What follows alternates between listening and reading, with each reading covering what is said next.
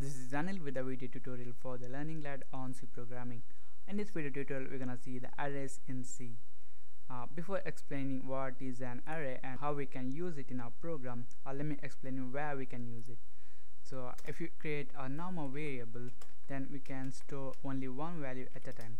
If you want to store another value then you have to create another variable and you know save that value in that uh, variable uh, suppose if you have to store the roll number of 100 students then you have to create 100 variables and uh, you know as in that values. So if the size increases suppose uh, you know you have to store the 1000 uh, uh, roll numbers then uh, you know creating 1000 variables and assigning the values is not the preferred method.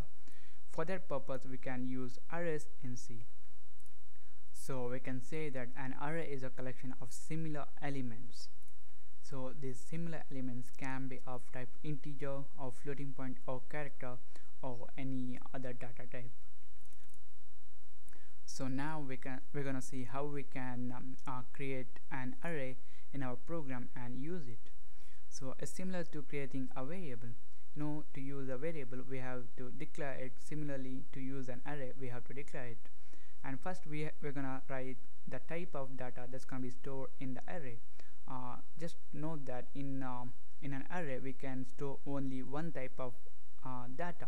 So if you have an array of integers then you can only store the integer uh, types of data in that array. So in this example we're gonna uh, create an array array to store the marks of our one exam or six subjects.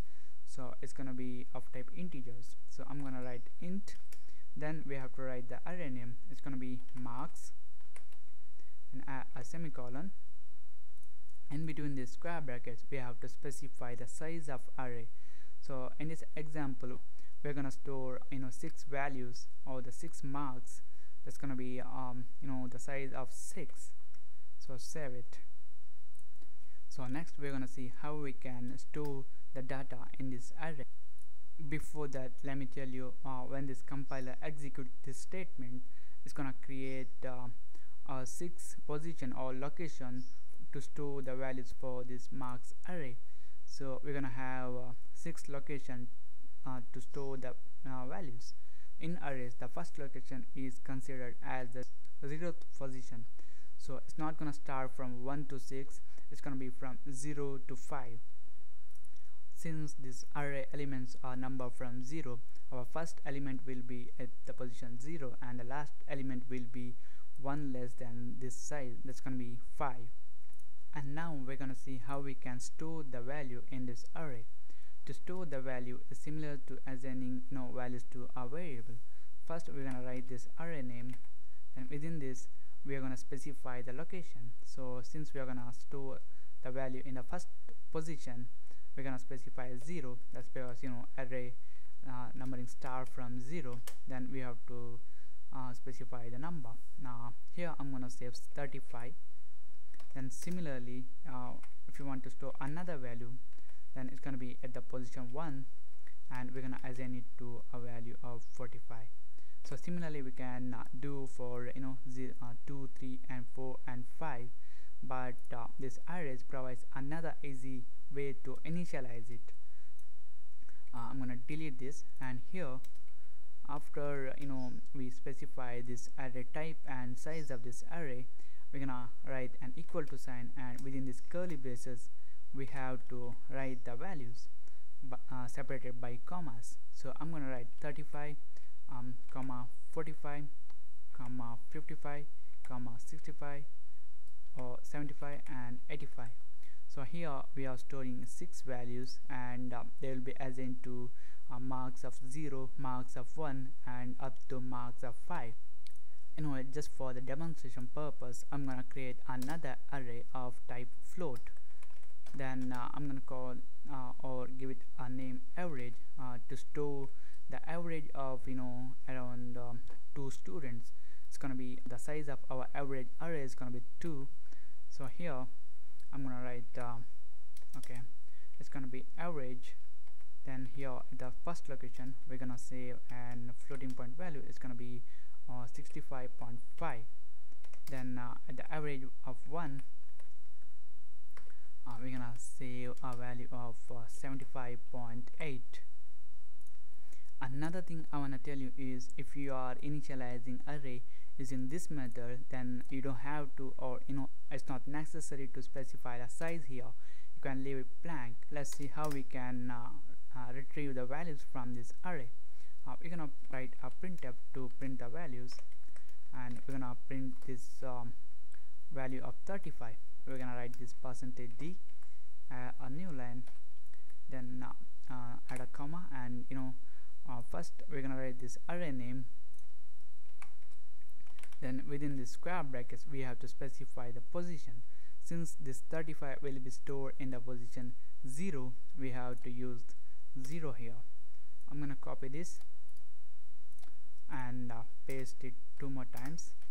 So in a second printf we're gonna uh, print the value at the position um, 0 1 2 3 so our fourth value will be at the third position in the array. That's going to be 0 1 2 3 so in the last printf statement we're gonna print this last value. That's going to be 85 which is present at the location 5 in the array.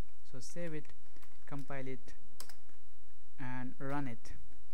So as you can see we have printed 35 that's you know the first value which is at the position 0 then 65 that's the fourth value which is at the position um, 3 and 85 which is the sixth value that's at the position um, 5 close it. Uh, similarly we can uh, print the this print this you know a floating point value here.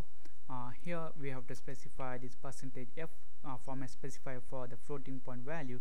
Then we're gonna refer this you know average array and we're gonna write uh, which value we want we want to print. We want to print this uh, 65.5 which is at the position 0 so I'm gonna specify here save it compile it and run it. So as you can see here you know this 65.500 is gonna be from you know this average array. So let's have a recap what we have you know learned uh, till now so first we created an array so an array is a collection of similar elements. So in this example we have uh, created this integer array. So we can only store this integer types of data in this array. Uh, we can initialize this array using uh, this this method or we can initialize you know using uh, uh, this method so if you are using uh, you know this uh, uh, curly braces and you're writing the values then you don't have to specify the size here. The compiler will automatically allocate the size for you. This is how we can assign the values to this array. To print or access the value from that array we have to specify the location where from where we want to get the data. So here this arrays uh, positioning start from 0 and it's not from 1 so the size or the last element in the array will be present at the position 1 less than the size of the array. So this is it. This is about the arrays. And in the next tutorial we're gonna see some more information about these arrays. Thank you for watching and don't forget to subscribe to my channel